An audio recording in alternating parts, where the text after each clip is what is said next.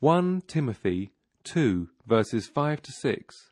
For there is one God and one mediator between God and man.